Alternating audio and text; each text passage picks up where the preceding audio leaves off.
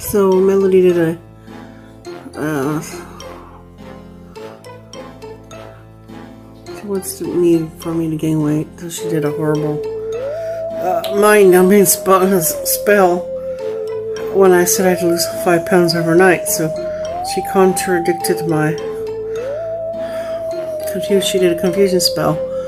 You're totally confused and like what is going on.